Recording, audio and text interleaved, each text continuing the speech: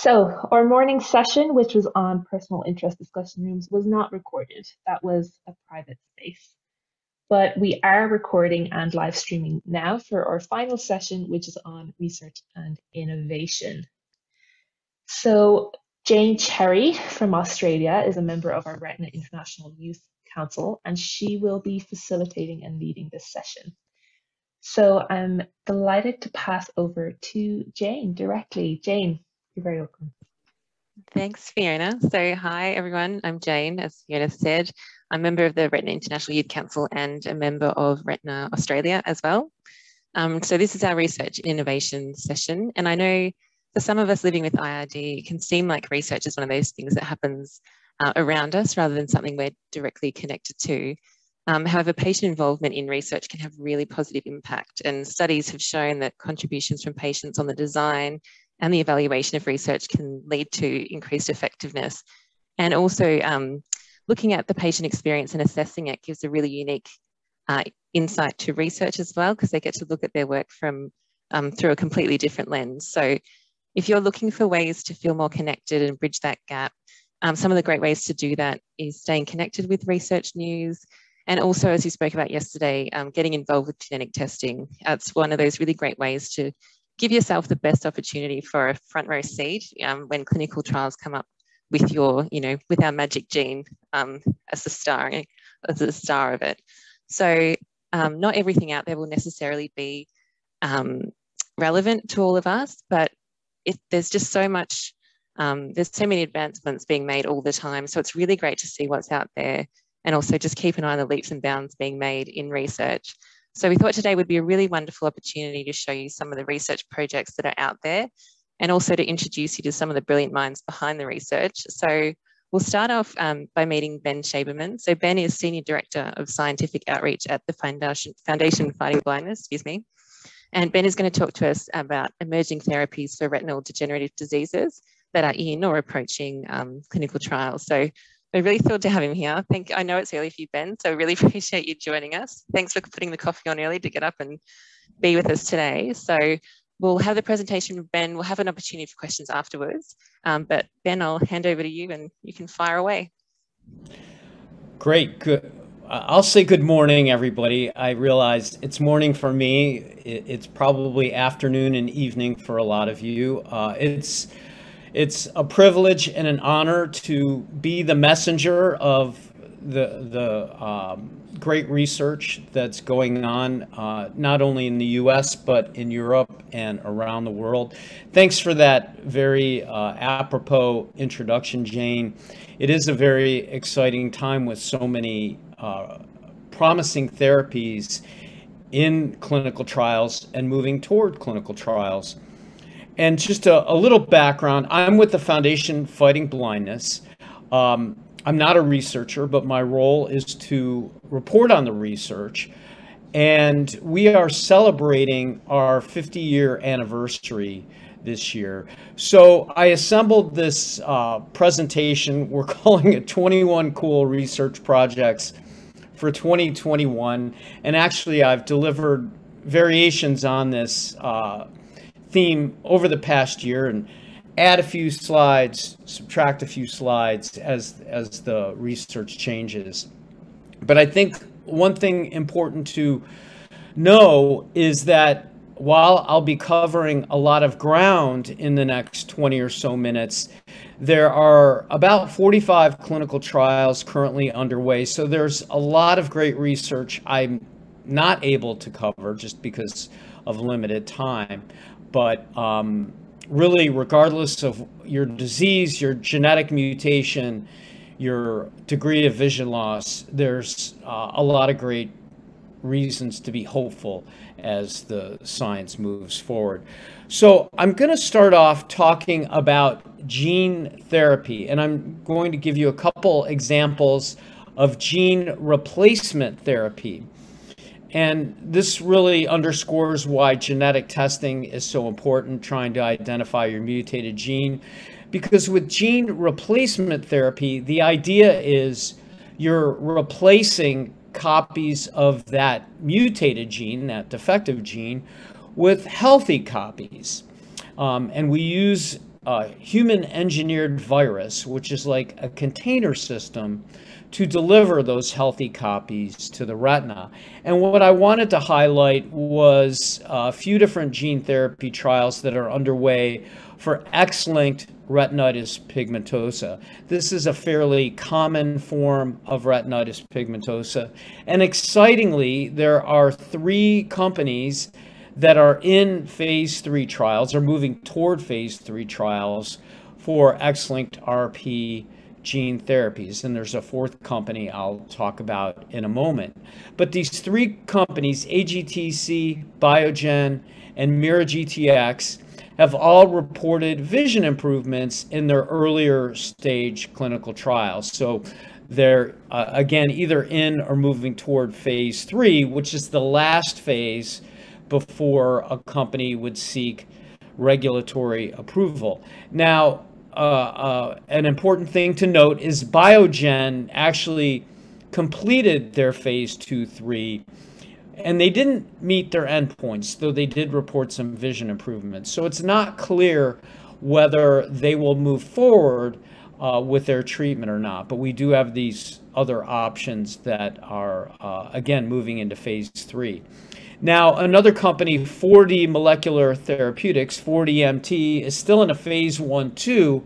What's a little different about their approach is they inject the therapy into the middle of the eye instead of underneath the retina. Their approach is potentially less invasive, which is a good thing. Subretinal injections or surgery, uh, 4DMT's approach really isn't.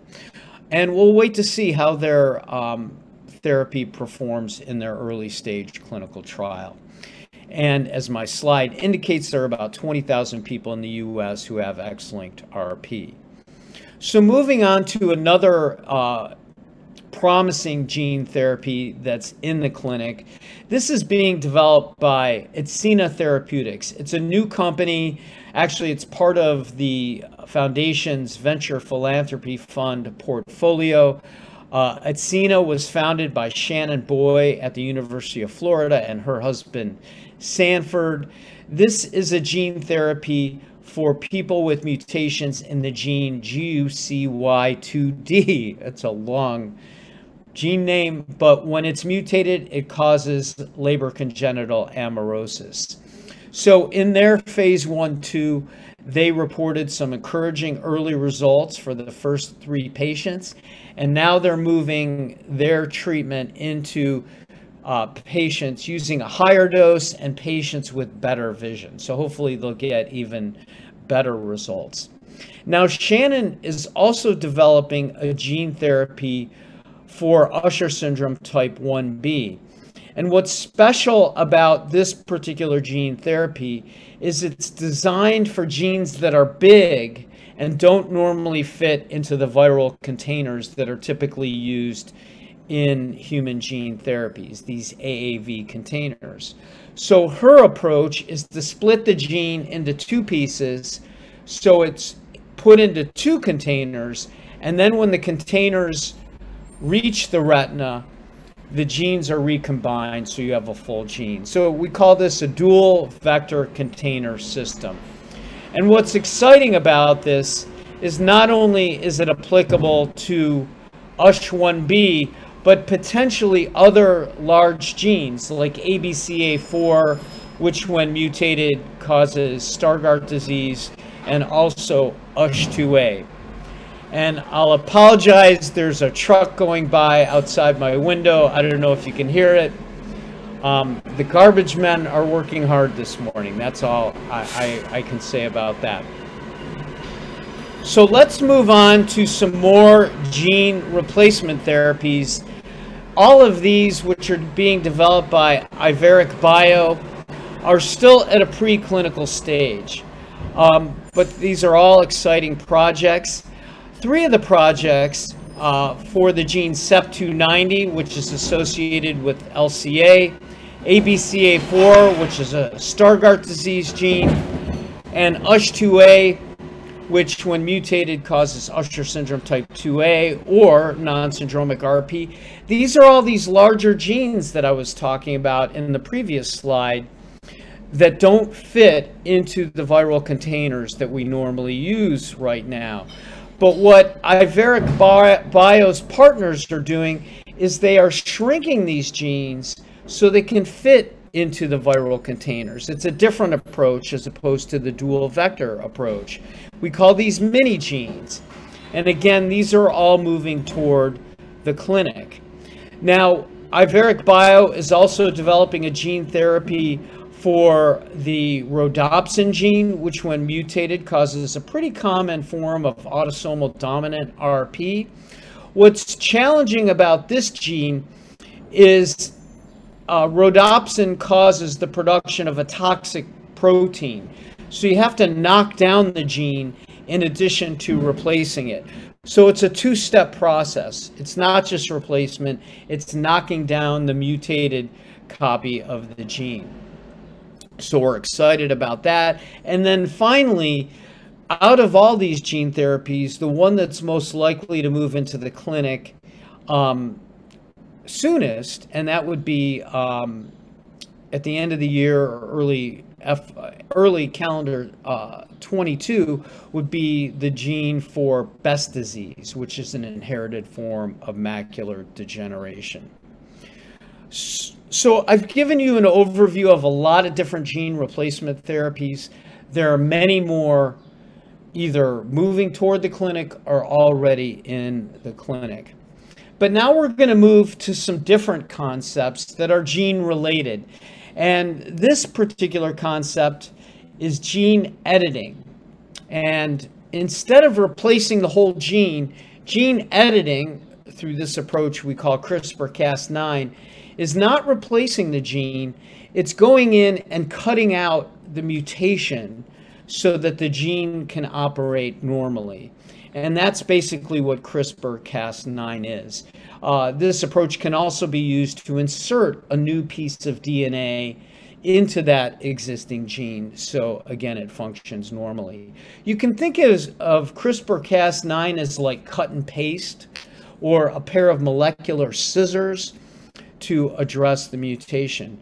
Now, excitingly, um, the company Editas, Editas launched the first CRISPR Cas9 therapy applied to any part of the human body um, several months ago. We're fortunate that it happens to be in the retina. They're addressing a pretty common mutation in CEP290. Um, we've heard some encouraging anecdotal reports from this trial, but we're waiting to hear uh, the formal report from Editas, uh, hopefully in the not too distant future. They are also developing CRISPR Cas9 therapies for USH2A, a region called exon 13 in that um, gene, as well as a common mutation in the rhodopsin gene, which again, uh, when mutated, causes RP. And I will add that the Foundation Fighting Blindness has six or seven CRISPR projects in its portfolio. Those are not yet in the clinic. Let me make sure I go back here. So we're going to talk about yet another approach to addressing a genetic mutation. And we call the the approach uh, on this slide, we call this um, an RNA therapy or RNA therapies. So your genetic material, your DNA, is like a library of code in your cell. But there's a messaging system also that transfers information from that library through your cell so that the correct proteins can be made. And that uh, messaging system, the messages we refer to as RNA. And so there are companies that are developing therapies that address the mutation that are in these messages, these are these um, uh, messenger RNA. And we again we call these RNA therapies. ProQR, a company in the Netherlands, is developing what we call antisense oligonucleotides. Very long, complicated name, but you can think of their therapy as this tiny piece of genetic material that covers up the region in the RNA that needs to be masked. And once you do that, the cell can make a functional protein. So again, think of this, this approach as a tiny piece of genetic material to cover up the mutated region or the region that needs to be covered up so that a normal protein can be um, produced by the cell. So ProQR has three clinical trials underway. One for CEP290, that's in phase 2-3. One for USH2A exon 13, that's moving toward a phase 2-3. Both of these trials have reported some pretty nice vision results, so we're excited. And we're um, hopeful that we'll see additional positive results in these later stage trials so that eventually ProQR can seek regulatory approval for this approach.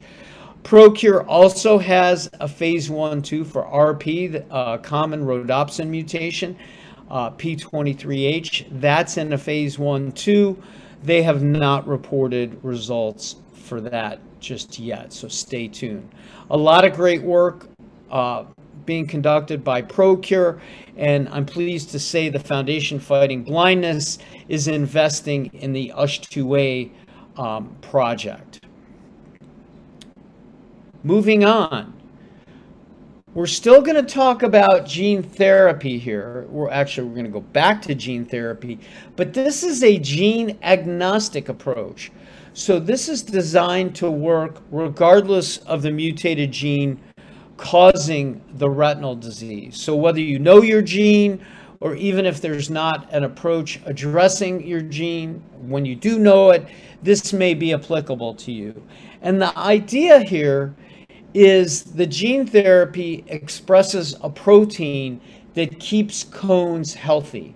It's being developed by Sparing Vision out of France, the Institut de la Vision. And cones are important because they give us central vision and the, the uh, ability to read and recognize faces and see colors and see things in lighted conditions. We use cones for our activities of daily living, where rods are important, but they give us night vision and peripheral vision. So if we can save cones in people, we can preserve some meaningful vision. So this gene therapy is still in a preclinical stage. We're hoping it can move into a clinical trial next year. Uh, the company is targeting people with RP and Usher syndrome and potentially related conditions. So this is Sparing Vision out of France. Stay tuned. So we're going to move on to yet another approach um, that we consider to be a gene therapy, but this too is gene agnostic. And the idea here is to help people with the most advanced vision loss. For people who have lost all their rods and cones, or most of their rods and cones, to conditions like RP, Usher syndrome, and even down the road, Stargardt disease and AMD. And there are a few companies now that have clinical trials underway for this approach, uh, which we call optogenetics. And the idea here is for people who have lost all their rods and cones and therefore all their vision that we're going to use different cells in the retina as a backup system to restore vision. And these can be ganglion cells and even bipolar cells, which survive after photoreceptors have been um, lost to advanced disease. Now, ganglion cells and bipolar cells normally don't respond to light. But what this gene therapy does is it delivers a gene that bestows light sensitivity to these ganglion cells or these bipolar cells. And there are three companies that now have clinical trials underway for this approach. I'm highlighting Bionic Sight on this slide. Earlier this year, they reported uh, vision improvements for four people um, at the very early stage. It's actually the first four people uh, treated in their clinical trial, which is underway in the US in Long Island outside of New York City.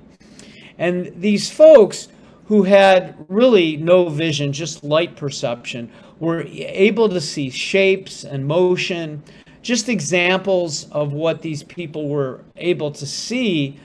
Um, one gentleman saw the Hanukkah candles um, during the uh, holiday in December when he couldn't see them before. Um, two other people that practice martial arts were able to see their opponents, the contrast of their opponents against the mat that they were practicing on. So, this is very early stage research. People still can't read and see details, but we're hopeful that as this approach moves forward, people will have better vision. We're still learning a lot about this approach. And GenSight and both Bionic Sight, their approach employs goggles or glasses to enhance the visual information coming into the retinas that have been treated by these gene therapies. There's another company, Nanoscope, that just uh, announced that their approach has been um, moved into a clinical trial in the US. We're hoping that that approach shows some promise. They're claiming that their approach will work under a broader range of lighting conditions. We'll see how that goes. They had some early encouraging results in India. But again, the cool thing here, it's designed for people who have lost really all their vision and it is gene agnostic. So I want to move into some cell therapies, and there are multiple cell therapies in clinical trials, jCyte, ReNeuron, but I decided to cover an approach that is really cool because instead of transplanting or injecting cells into the retina, as most um, approaches uh, are designed to do, this approach we call the grow your own. This approach, being developed by Tom Reh at the University of Washington, is designed to enable a person with advanced retinal disease to grow their own new retinal cells from Mueller glia. And what Dr. Reh learned from studying amphibians and fish um, is that these animals can regenerate their own um, retinas. They can regenerate their tails. If they lose their tails, they can re- regenerate their feet and their fins and things like that. So he's trying to impl- um, uh, empower humans to be able to do the same things in their retinas. And he's designing a small molecule that in mice has enabled what are called Mueller glia cells to sprout photoreceptors. So he's done it in mice and, and, fish, and now he's working on it in a large animal model. It's not ready for prime time yet, it's not ready for humans, but this large animal st- study is an important step toward moving it toward humans. And this again is an approach that's being funded by the Foundation Fighting Blindness. And what's nice, again, is you wouldn't have to transplant new cells in, which makes it a lot easier, less invasive, and less chance of immune rejection if the patient can sprout their own new photoreceptors.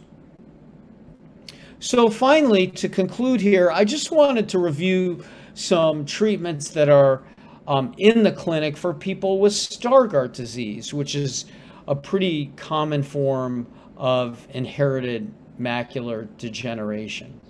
So in Stargardt disease, the hallmark is the toxic, the buildup of these toxic byproducts from vitamin A processing. We all need vitamin A for our retinas to work properly. Vitamin A makes our retinas light sensitive vitamin A is metabolized in the retina to bestow that light sensitivity. But when it's metabolized, there are byproducts that we can call these waste products that need to be cleared from the retina.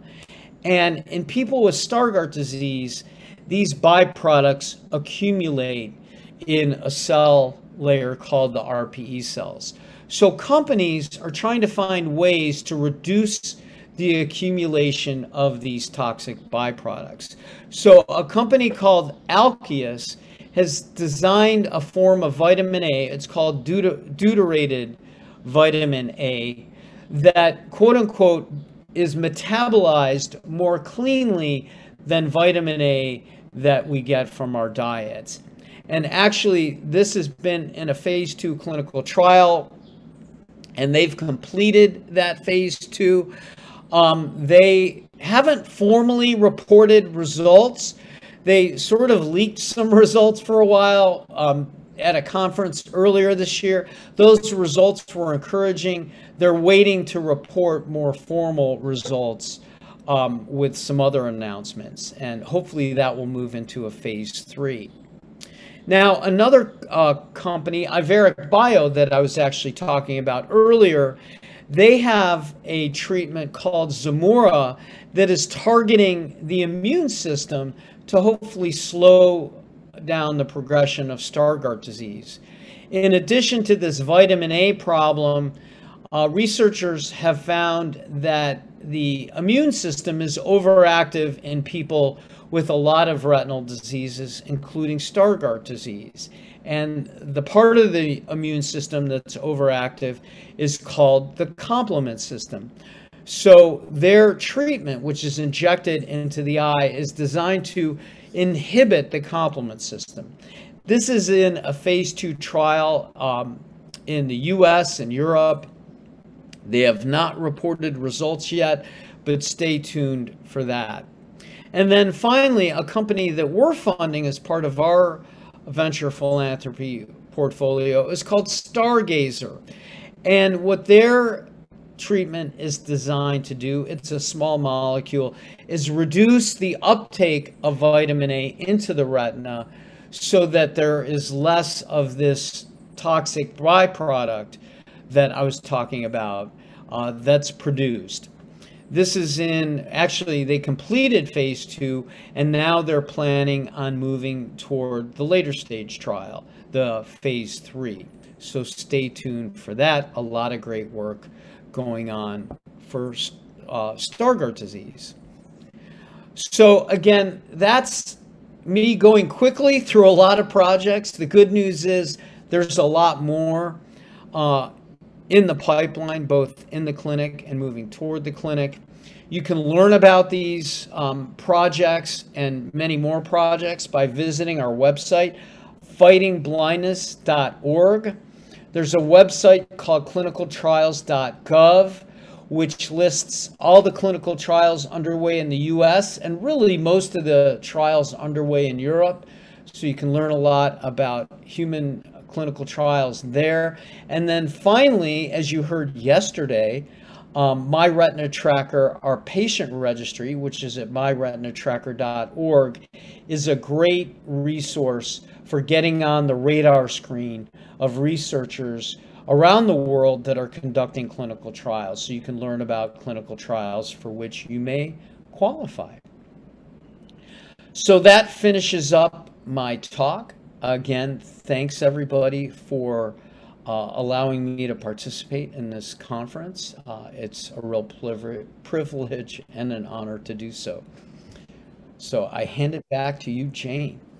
Thank you so much, Ben. That's brilliant. It's, it's a really optimistic view of the future, I think, um, looking at everything that's underway and that just being a snapshot of it.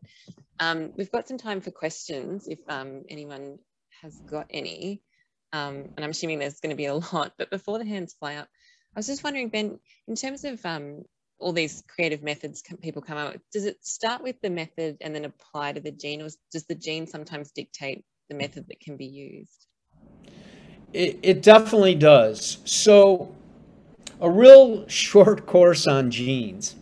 Genes are code for the production of proteins in our retina. And and, and, proteins throughout the rest of our body for that ma matter. And it's the proteins that are really important to the function of our retina and the health and well being. But each protein plays a different role. So some proteins are necessary for the development of our rods and cones. Some genes are important for bestowing lights, or some proteins are important for bestowing light sensitivity to our retinas. Some are important for vitamin A processing.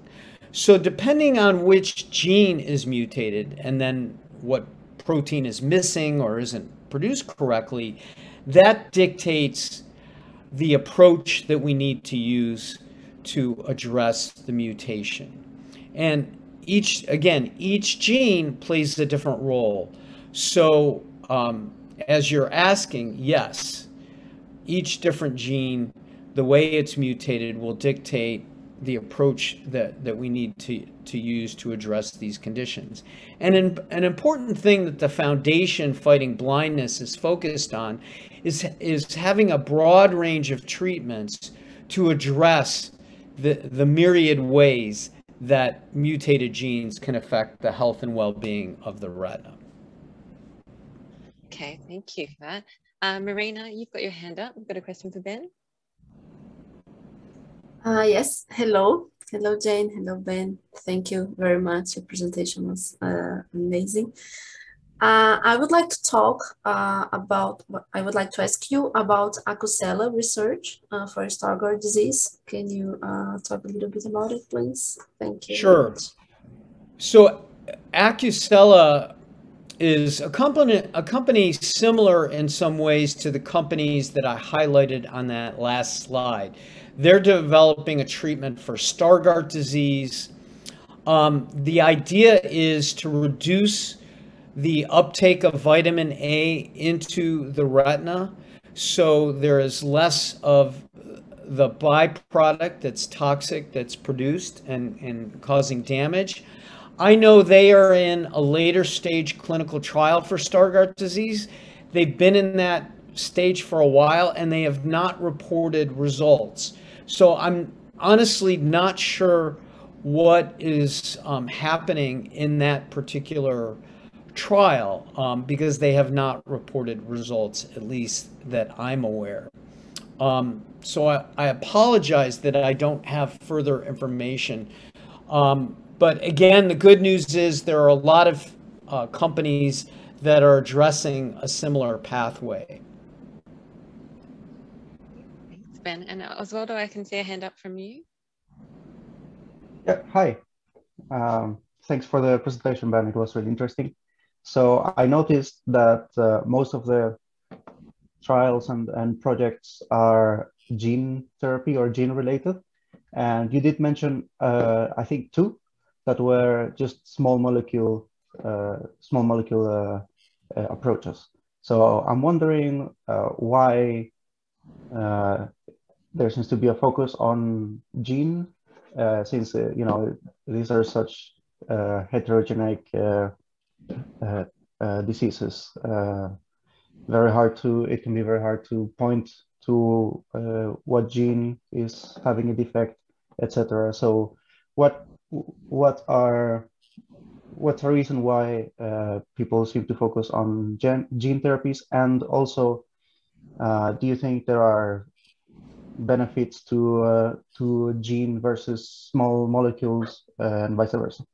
Sure, it's a a really good question. And I want to emphasize that the SparingVision approach designed to save cones, the optogenetic approaches that I talked about, um, the stem cell approach where you can grow your own stem cells, and then trials like ReNeuron and jCyte, those are all cell based. Those are all gene agnostic.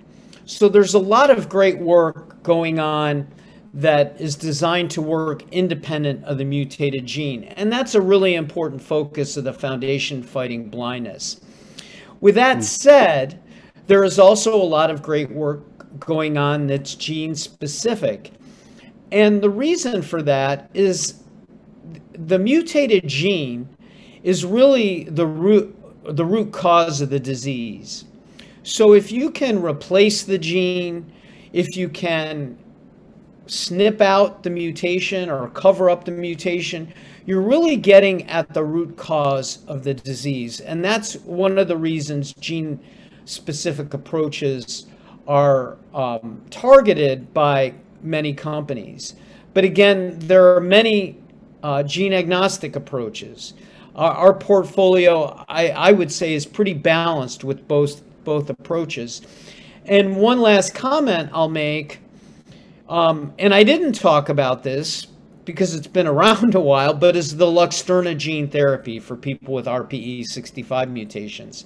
That gene therapy was approved in um, uh, approved by the regulators in, almost four years ago.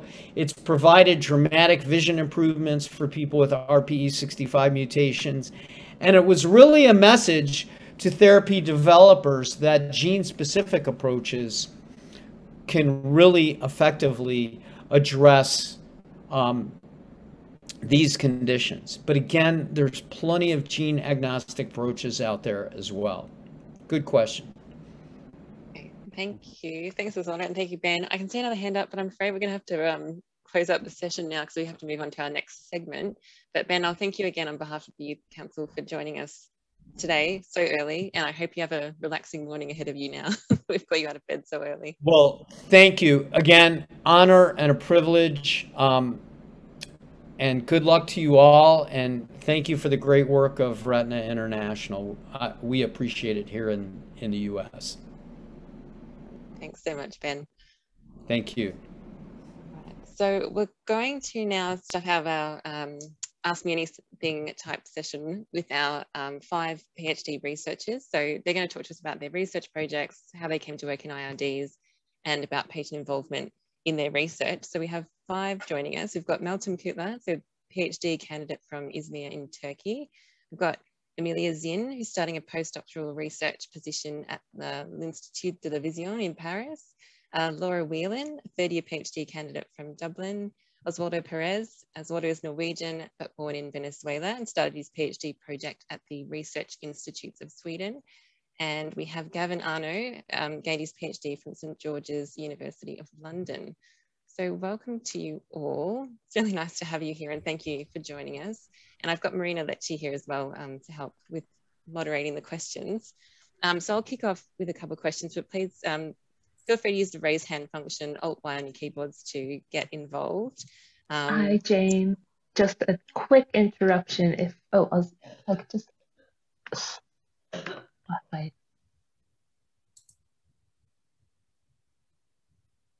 Apologies, was just spotlighting the other thing. Okay no worries, It's got everyone together now, excellent. Um, so we also got some great questions through the, uh, the registration process, so thank you for sending them through in advance. Um, but yeah, like I said, it's a very informal Ask Me Anything, so we'll throw it open to you guys with your raised hands um, as soon as you're ready. But I'll um, I'll kick off first, if that's all right. So question for all of you. Um, can I ask why you chose a path in eye health and specifically um, retina? So I, will start, um, Gavin's next to me on screen. So I'll start with you, Gavin, if you don't mind. Hi, uh, nice to meet you all. Thank you for inviting me. And uh, I, I, feel a bit out of place. I'm not actually very young at all. I'm uh, I got my PhD in 2007, so I'm, I'm a lot older than all of you. But anyway, so I my PhD was actually in uh, something completely different. It was in immunology and uh, coronary artery disease. But from there, I, uh, I moved across to human genetics and Mendelian disease research, and that really is my first love now. That's, that's what I really enjoy doing. And uh, for me, retinal dystrophy genetics is the, is the perfect um, organ or, or model for studying inherited diseases. And that's really because um, with the retina, we have the, the opportunity to be able to functionally test the cells that are affected by disease in vivo, so in, in live patients, which we, we don't really have for any other organ systems in the body. We can see the cells, we can look at the back of the eye, see the affected cells, test them with electrophysiology and see exactly what's happening and relate that to the genetics that we're studying. And so that's that's why I chose retinal dystrophy um, genetics as, as my research area. And I've been working on retinal dystrophy genetics and genomics now for about nine or 10 years nearly now at the Institute of Ophthalmology in, in London. And so during that time, we've, we've seen huge advances in how we can study genetics. We, so when I first started doing research into Mendelian diseases, if we were looking at a large gene like ABCA4, which has 50 exons, it would take us a long time and a lot of work in the lab to be able to sequence that gene and look for the mutations. And now we're able to do a genome sequencing assay in, in you know days, if not hours, and then analyze that data very, very quickly. So in the time since I got my PhD, we're now moving from, from reading sequences at, at, at, a rate of 200 base pairs per experiment to the whole genome, which is which is three billion nucleotides in one in one experiment. So, you know, for me now is a really really exciting time to be interested in genetics and genomics, and the fact that our work is leading to these um, development of gene therapies and and uh, you know targeting different mutations. That's that just makes it even more exciting. So that's why I found retinal dystrophy genetics, and that's why I'll stay in this field for the rest of my career now, as long as I can be funded. I'm sure there'll be another amazing leap in the next 10 years as well. Um, Laura, I'll come to you next. Same question. Yeah, um, I feel like Gavin covered a lot of it there. Um, um, I guess I was just always interested in genetics, um, especially knock something over. Um, I was always interested in genetics, especially my final years in school. I had a biology teacher who was just totally enthused by genetics. So um, I decided to, to study human genetics at college. And through that, then um, I had lectures on inherited retinal disease. And it seemed like the ideal place to be in if you wanted to get into genomics and get into studying genetics as a career, um, just because of the heterogeneity that we talked about and what's going on in the field of gene therapy. Um, so yeah, just an absolute love for genetics um, made me choose this field. Excellent, thank you. Emilia? Hi, yes. Um, hi. Um, yeah, I I also um, my my path into this field was a little bit different in the sense that I was interested in, in neuroscience. Um, so um, I, as an undergrad, ended up joining a lab that was a neuroscience lab, neurogenesis lab, and they used retina as a model. And out of all the projects that they were working on, um, there was a postdoc working on gene therapy uh, um, using, um, she was basically working, looking at glaucoma and thinking of using gene therapy with glaucoma. And I thought that was super interesting, got involved with the project, and that was 11 years ago, and I'm still working with gene therapy now. So, um, and hopefully we'll keep working with it uh, for the rest of my career too. so I'm getting the sense from a lot of you it's quite an addictive once you get started. Um, so Oswaldo, to you? Uh, yeah, so I'm a PhD student, uh, actually colleague with, with Meltem, she's my colleague. Uh, and uh, I've, I, I'm, a, I'm a chemist, actually, to be clear. Uh, I've always been interested in biology and, and chemistry and natural sciences and anatomy also. And uh, also since I was a kid, I come from a, a Venezuela where everyone has brown eyes. And every time I saw someone with colored eyes, I would, you know, I was really interested by that. So um, yeah, uh, somehow that was always there. I didn't choose this project because of uh, the retina uh, retinal research. Just the project in general was very interesting, but uh, every, uh, I'm fascinated by everything we're learning, and I hope I here to stay. Just everything really fell together. So I'm lucky, lucky to be here. I think. Okay. Thanks, Cesaro and Meltem? Hello, everyone. We are with a lot of young people today, and I would like to start a little bit early the story. And when I was a high school uh, high school student, you know, I was really interested in biology. And for this reason, I chose the um, uh, biology department for my bachelor degree. However, when I was in the second year of my bachelor, I was diagnosed with retinitis pigmentosa in Turkey. And I searched about it to learn deeper, and I couldn't find too much deep information about it. Also, I searched a research group who is doing the experiment, doing the research, doing the clinical trial about it, and I couldn't find it. It was two, 2009. And in that moment, it's my motivation also. I decided to focus on my career to do research about retinitis pigmentosa. And right now, I am the PhD student in Italy um, to be a molecular biologist and uh, doing the research about my disease, retinitis pigmentosa. And right now, I didn't know my gene, which is important. Still, like the as a patient, I'm trying to learn my gene, a mutated gene, and also I, as a researcher, I am working on it. This is the motivation for me to choose the retinal disease.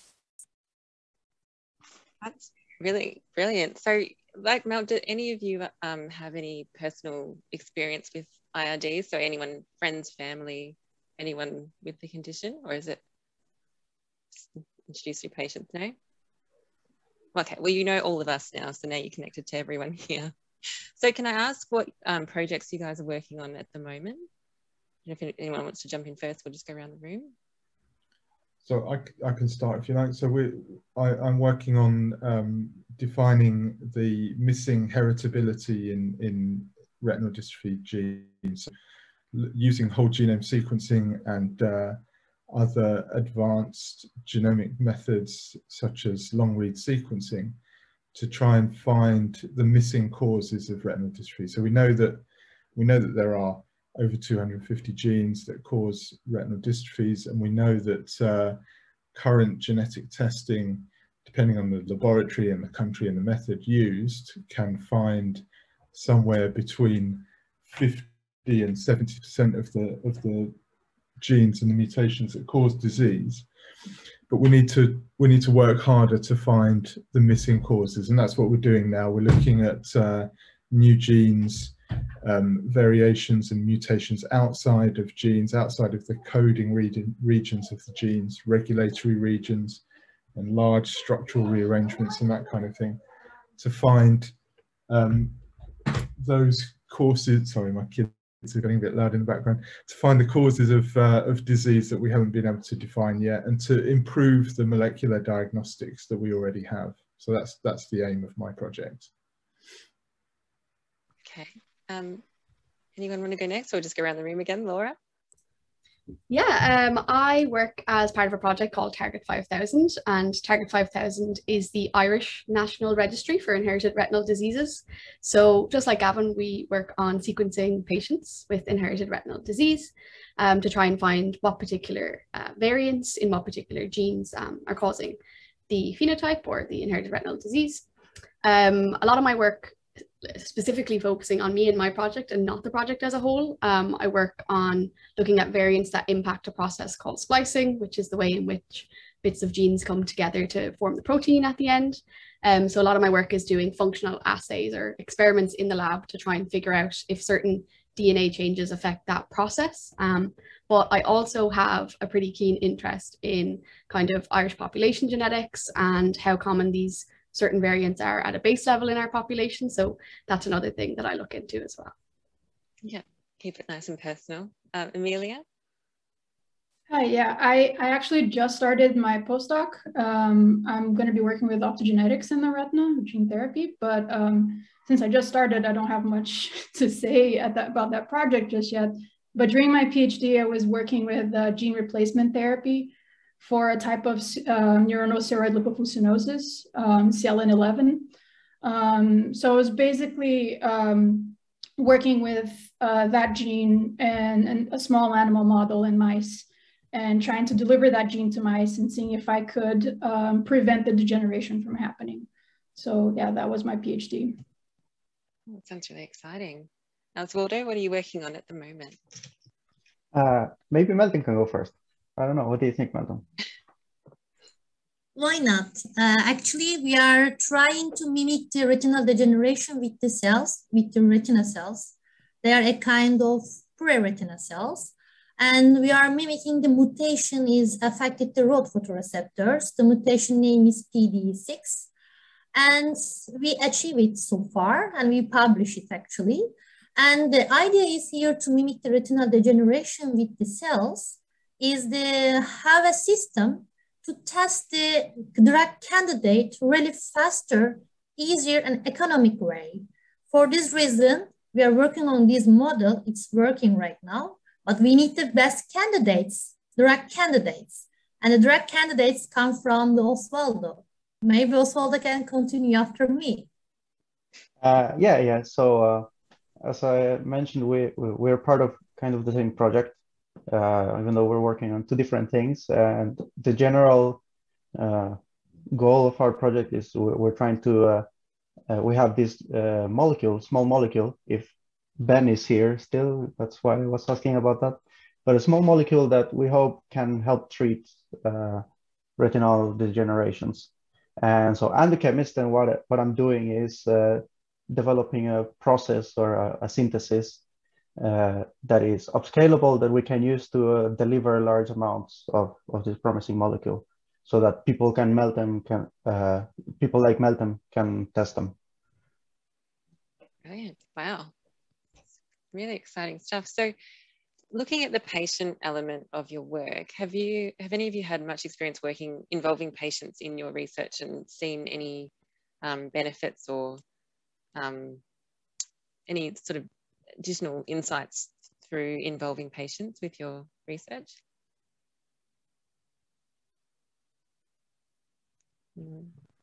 I, I don't mind talking again first. um, Dive in.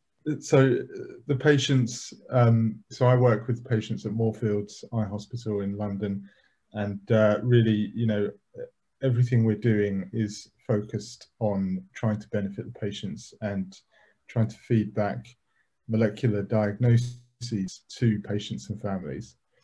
And we really, you know, we, we have an amazing group of patients at Moorfields and, um, you know, they're, they're very, very collaborative, um, as are all of the families that I've interacted with, really. They're very collaborative. They're very keen to help our studies and to, you know, they work really hard tracking down family members and, and getting blood samples and saliva samples for us to do family testing and, and sort of thing. So we work very closely with our patients and uh, they are the focus of all of our work. So, you know, without them, we can't do anything essentially. So as a molecular geneticist, it, it's important, I think, to recognize um, that that uh, you know the patients are the center of all of this, and to to be able to understand how the gene relates to not only the clinical phenotype, not only what we see in the imaging and, and how the retina is disrupted, but what that actually means for the day-to-day -day life of the uh, of the patients and the families. And that's, you know, I, I enjoy working closely with, with patients and interacting with them and, and talking with patient groups all the time. So it's a really important part of my work, particularly. Yeah, that's really nice to hear. And I think that's encouraging for all of us to um, get involved where we can, because yeah, like you said, it's, it's based around us. And um, so it's nice to hear that, you know, the research being developed with us at the center. Um, does anyone have any other, anything to add to that? Okay. I'll mm. just a reminder to anyone. Oh, sorry. Yeah, Maybe. I don't know. okay. Oswaldo first, you please. Very short. Maybe just to contrast, because I don't have any experience, a close experience with patients. You know, I'm just in the lab, uh, uh, caught up in my chemistry, you know, trying to develop things uh, for manufacturing. But that being said, uh, do, having the perspective of, of what is beneficial for a patient, uh, we learned about this, uh, and that's very helpful for me. And um, for example, the we, we know what the candidate drug candidate is, but uh, it's important to develop the the, the physical uh, form of the molecule, not just the chemical form, but the physical form. Uh, uh, because that affects whether we can inject it or how long uh, it can be in the eye. And that affects uh, how often the patient needs to be injected if, if this is an injection that we're talking about. So uh, that, that's, uh, that's very helpful for me to have that perspective. Yeah. Meltem? Meltem? Yes, actually, we are not directly working with the patient, but it's really important to be connected with the patient organization because as a researcher, we need the support to extend our work. Uh, we need more younger researcher to do more experiments, more research. So working together, it's really important. For this reason, as a Transmed Consortium, we are also um, working with Retina International to explain what we are doing uh, in the lab as a young researcher, also what we can do for the future. So all together, we are more strong, more powerful to extend to all research uh, projects. And this is important, not maybe just only work with the patient, uh, also the work together for every step of the research.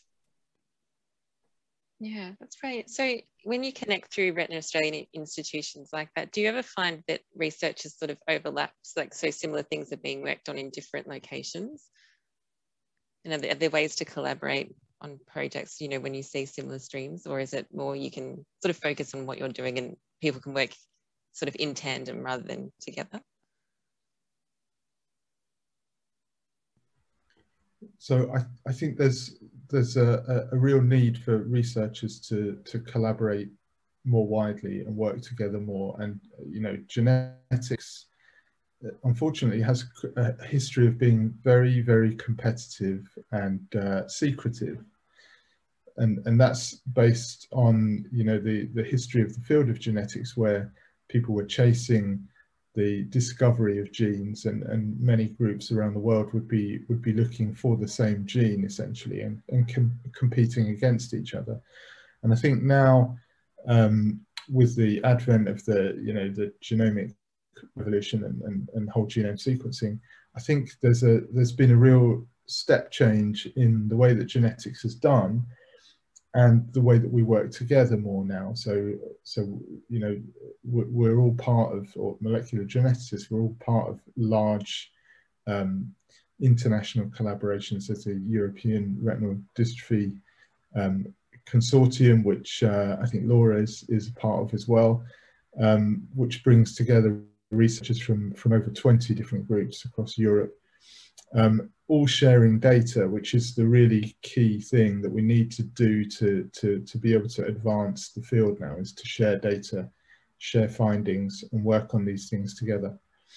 Um, so there is a there is a, a, push towards that now and and to you know um, leave behind the old competitive days of research. So that's my feeling anyway. Yeah. It's good to hear. So just from the audience, are there any questions you have for any of the researchers here? Because I'll just keep talking all day if you let me. And so will I. so in terms I have a, oh. I have a question. it's Marina here, Marina Leite. Uh, so thank you all for joining us in this event. Uh, I'd like to hear from you. Uh, what's uh, your point of view? Uh, what do you think about how patients can get involved in research uh, due to your experience. Uh, what would be your advice for patients uh, who wants to get involved in research and how can we do this in, uh, in a good way? I don't mind jumping in here a little bit. Um, one thing that we were thinking about lately, which I think would be great, is to get patients involved in, you know, um, the kind of dissemination or sharing stage of the research when um, we have results that we want to share. And you know you go to academic conferences and you share these results and you're sharing them with other researchers obviously. Um, but it would be great to share them with patients more as well um, and also share them in a way that is approachable to everyone because you can get kind of lost in the science sometimes I think um, so I think that if you know patients want to reach out and email and say they'd love to be involved in something like that I definitely think that's something that um, we could do. That sounds brilliant. Yeah, because I, uh, I, mean, I think a lot when I started looking for um, stuff on retinitis pigmentosa, a lot of the medical journals were coming up, which just flew way over my head. So something in more layman accessible terms, is, um, it would be brilliant to read through. I, I, I want to echo that. Uh, uh, you know, the dissemination part, because uh, uh, on from the from the uh, pure chemistry or, or scientific point of view, maybe the chemistry that I'm doing is very simple. So in a conference, it might not be as uh, catching, uh, as eye-catching or as important to other scientists.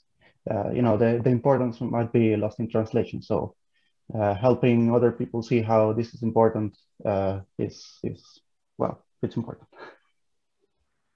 Uh, just to add to what Laura said, um, so there are projects like uh, My Retina Tracker and, and uh, similar um, similar projects around the world that are trying to put um, patients in control of their data. And, we, and we've been working on one at Moorfields for a, a couple of years now called MyEyeSite, um, which is which is aiming really to to put all of the data into the hands of the patients and the families. So the genomic data that we that we generate to to to be able to give control of that to patients and the imaging data, which makes it much easier for patients then to be able to share that data with different clinicians, with different researchers, and to to really help with the with the uh, collaboration and, and sharing of data.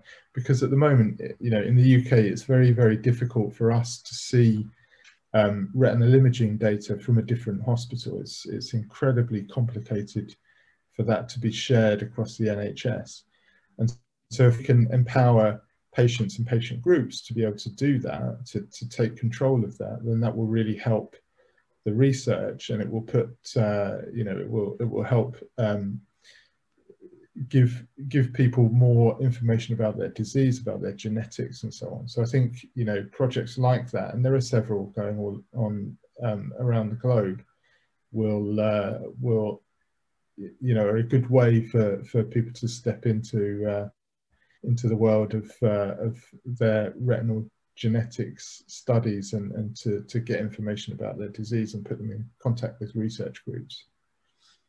So it's worth looking that sort of thing up. Yeah, sorry, I was just thinking if Fiona might um, be giving me the wind up signal soon. if I can talk further. I am indeed. Um, so we are just at time.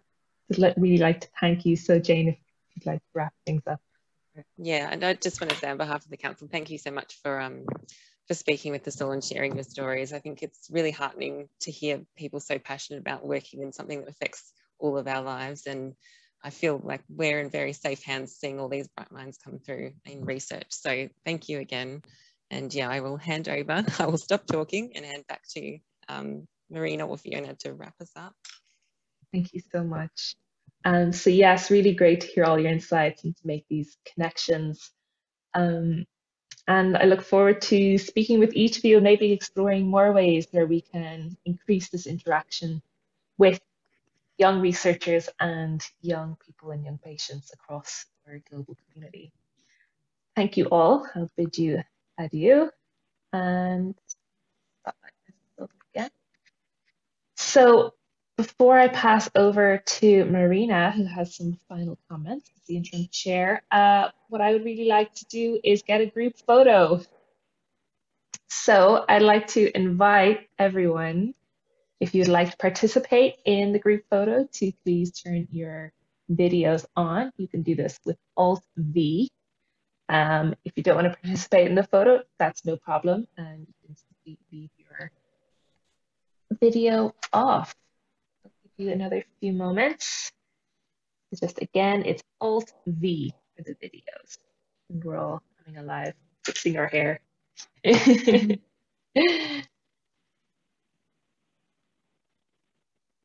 That's great. Okay. So let me just set up my screens here. Just final note, if you want to join, it's Alt V to activate your videos. All right. And I am taking the photo in three, two, one. Fantastic. And another one, three, two, one. Thank you all so much. And I'm going to pass over to Marina now, who has some final comments for us. I'm mute or not? You are live. Wonderful. So I want to say a huge thank you to all the researchers, everyone who has presented, all the youth council members who have participated. It was a crazy five weeks and an amazing two days. All the work was worth it. So thank you for tuning in wherever in the world you are. And we look forward to you joining us in our future ventures. So that everyone is aware, next year, so 2022, we will be having the International World Congress for Retina International. It is taking place in Iceland in July. So if you want to get involved in the youth program, which is like a two, three day in-person meetup around the count, around the actual conference, you are very welcome to join us. Not mandatory, but always, it's always really good. And then I want to speak to the fact of if you have heard all this and gone, wow, I really want to get involved, then I will remind you that Retina International has global affiliates. Retina New Zealand, Retina Australia, Retina Suisse for Switzerland, Pro Retina in Germany. The list goes on and on. I encourage you as a patient, as a supporter, as a health professional, find your affiliate, see if they are already working with Retina. And if they're not, ask them why not. Get them moving. The more people we have involved, the more we can achieve for our members. So if you want to be a voting member on the council, your affiliate has to be a full member. If you want to just participate in projects like this, you just need to be a candidate member. Each country can nominate two people. So if you're interested, remember, advocate, be the voice, be the change you want to see in the world today and tomorrow. And with that, I will hand back to Fiona and wish you all a fantastic morning, evening, afternoon. And may the inspiration stay with you and drive you forward to your next point of participation. Thank you. Thank you so much, Marina, for those great words of closing. Uh, I would just like to pass my thanks to our working group for the Retina International Youth Council. Um, they've done amazing work this event was, our council was only set up really at the beginning of July and really incredible work was done to pull this conference together. Um, so huge thank you to all of you. Huge thank you to Marina, our interim chair, and our other Marina, who was the coordinator for this working group. And to all our speakers and participants, was fantastic. And thank you, of course, to all our attendees who stuck with us through the end. Um, and as Marina said, we look forward to welcoming as many of you as possible in Iceland 2022. Um, these recordings will be made available as soon as possible. And, and yes, please do reach out if you have any questions or would like to contact any of our speakers or other attendees that you spoke with earlier. Be sure if you're making any social media tweets, um, you can tweet part of hashtag International Youth Day, uh, which was yesterday, um, or hashtag ORIYC 2021, and or hashtag Eye on the Future, which was our theme of the past two days of focusing on the future and bringing hope. And truly, after these two days, I'm feeling filled with, with hope and optimism, not only for research, but also from the amazing young people in this community that truly have a wealth of knowledge and insight to offer. And I really am very excited for where this group moves in the near future. Look forward to staying in touch. And that's a wrap. Thank you all and take care. Thank you very much. Bye-bye. Thank bye, you. everyone. Bye-bye. Thank you. I really enjoyed bye, it. Everyone. Thank bye. you. Bye-bye.